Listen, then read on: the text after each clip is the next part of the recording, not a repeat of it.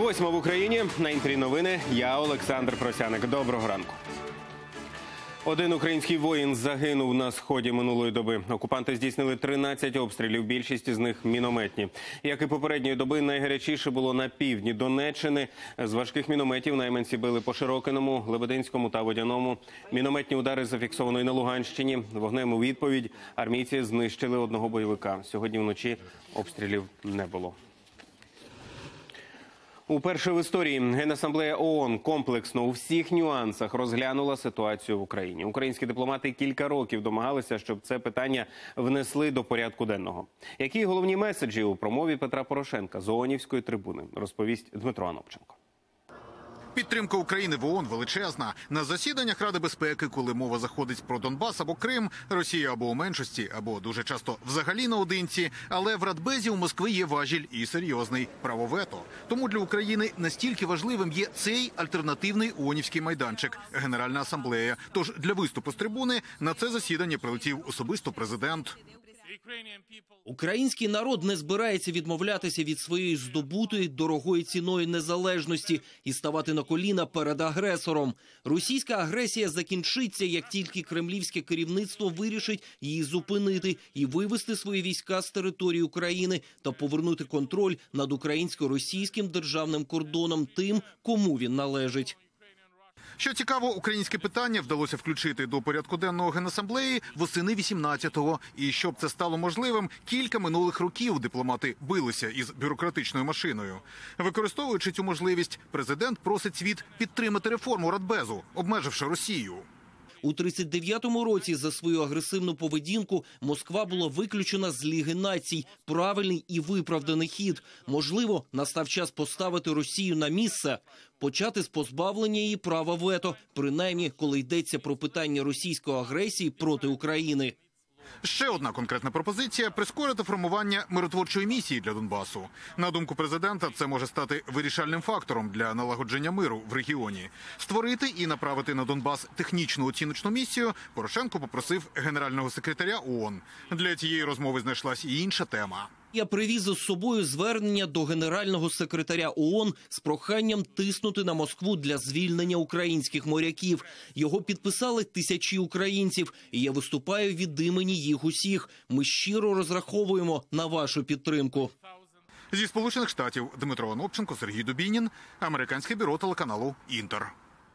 Кропивницький підтримує українських військовополонених. Такий 20-метровий банер розмістили на даху приміщення суду у центрі Кропивницького. Його власним коштом виготовили ветерани АТО. У такий спосіб демобілізовані бійці вирішили підтримати військовополонених та їхні родини. Нагадаю, зараз у полоні перебувають зокрема і четверо жителів Кіровоградщини. Це двоє спецпризначенців 3-го окремого полку Олександр Куріньков та Сергій Глондар, а також моряки Андрій Артеменко і Роман Мокряк. Це не тільки моряки, які, яких захопили в Керченській протоці, це і ті військовополонені наші Глондар, Коріньков. Е, Це політичні полонені, які знаходяться в Росії зараз, такі як Сінцов, Клих. Е, Це кримські татари, які зникають там в Криму. Це стосується наших українців, які знаходяться зараз в полоні чи незаконних бандформувань, чи Російської Федерації.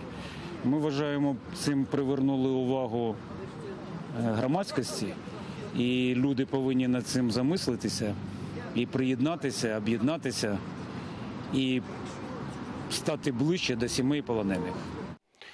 У столиці затримали колишнього співробітника Нацполіції, який продавав конфіденційну інформацію. Полковник у відставці організував злочинну групу, надавши віддалений доступ до баз Нацполіції і МВС. Приватну інформацію про громадян продавали колекторським конторам, банкам та великим приватним підприємствам. До угруповання входили і чинні співробітники поліції. Окрім організатора, поліція затримала ще трьох його спільників. Під час обшуків правоохоронці вилучили техніку, сервер, копії документів, боєприпаси та гроші. Бурштин мішками на Волині патрульні спинили автівку, набиту бурштином. Водій легковика навіть не ховав каміння, просто спакував 20 кілограмів у поліетиленовий мішок і поклав у багажник. Увесь камінь не оброблений і великого розміру. Його поліцейські вилучили і передали на експертизу. Скільки коштує така знахідка, наразі встановлюють. А ділок пояснює слідчим, куди і навіщо віз нелегальний товар. Поблизу села Ситниця співробітники Маневицького відділу поліції за порушення правил дорожнього руху зупинили автомобіль БМВ під керуванням 28-річного жителя Рівненської області. Під час проведення огляду у багажнику транспортного засобу поліцейські виявили мішок із камінням, схожим на бурштин сирець. Наразі проводяться першочергові слідчі заходи в рамках кримінального провадження, розпочатого за частиною 2 статті 240 Кримінального кодексу України.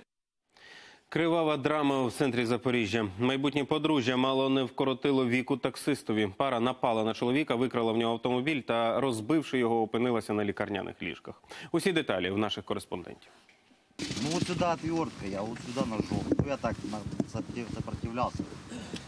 Олександр показує наслідки нічного інциденту. Каже, розмова з клієнтами, молодиком та його дівчиною не задалася з самого початку. Водій не захотів вести клієнтів, а ті відмовились виходити з машини. Коли аргументи скінчились, у хід пішла холодна зброя. Від пасажирів водій у прямому сенсі відбивався і ногами, і руками.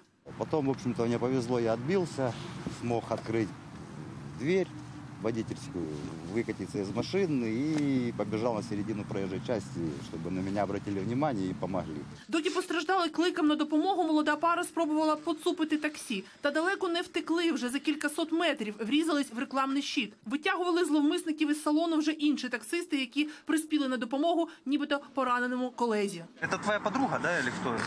будущая жена. Через що зав'язався конфлікт та чому викрили авто, пара так і не змогла пояснити. У поліції кажуть, вони були з ознаками алкогольного сп'яніння. Патрульна поліція прибула на виклик через е, дві хвилини після того, як отримали цей виклик на планшет. Вони знаходились е, буквально одна зупинка від даного місця події, тому прибуло оперативно. До того ж, нападників, як і водія, довелося ушпиталити. Від потужного удару вони дістали численні забої. Наразі їм загрожує від 7 до 12 років в'язниці. Водієві ж таксі, вочевидь, доведеться шукати нову роботу. Адже машина, за словами експертів, ремонту не підлягає. Ольга Клюєва, Сергій Бордюжа, Ігор Воробій. Новини телеканал Інтер. Запоріжжя. Чергове підвищення тарифів на світло і тепло готують у Києві. За інформацією заступника голови КМДА Петра Пантілеєва, з травня тарифи на електрику збільшаться на 31%, а на опалення майже на 19%. Причинами чиновники називають зростання ціни на газ та водопостачання, а ще необхідність укладання угоди з новим для киян постачальником електроенергії ТОВ «Київські енергетичні послуги. Доведеться більше платити і за вивезення сміття з 1 квітня на 11%.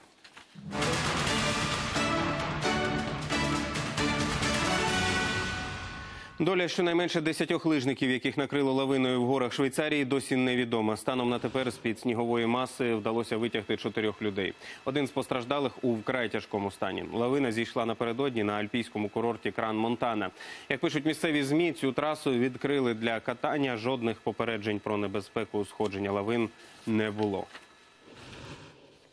Америка потерпає від негоди. Шторм вирує в чотирьох десятках штатів. У Нью-Джерсі оголосили надзвичайний стан. В аеропортах Вашингтона, Філадельфії та Чикаго скасували понад тисячу рейсів. Сотні затримуються. Закриті школи і урядові установи. На зустрічі з Дональдом Трампом Кім Чен Ін їхатиме три дні. Про це дізналася агенція Reuters. На саміт, що наступного тижня відбудеться у столиці В'єтнаму, Ханої, північно-корейський лідер вирушить потягом. Це його улюблений вид транспорту. Залізницею перетне Китай, а на в'єтнамському кордоні пересяде в автомобіль. Шведський автогонець, переможець чемпіонату світу з раллі-кросу 2016 року, автомобілем підкорив один із найкрутіших гірськолижних схилів в австрійських Альпах. Кут нахилу тут подекуди сягає 40 градусів, і Матіас Екстрем вирішив не з'їхати з гори, а піднятися на неї. Дізнавшись про його плани, багато професіоналів переконували, що це просто неможливо. Але Екстрему таки вдалося втілити свій задум та довести, що немає нічого нездійсненного. Світлове шоу дронів організували в китайському місті Хайкоу з нагоди свята ліхтарів. У небо запустили тисячу квадрокоптерів. Вони шикувалися у тривимірні фігури різних тварин, національних символів та гасел. Складалося враження, наче на небосхилі з'являються справжні голограми. Шоу влаштувала китайська компанія Рекордсмен книги Гіннеса. Торік вона одночасно запустила в політ 1374 безпілотники. Вони протрималися у повітрі 13 хвилин. Наразі це все. Більше новин буде у випуску о 9 годині. Тоді побачимося. До зустрічі.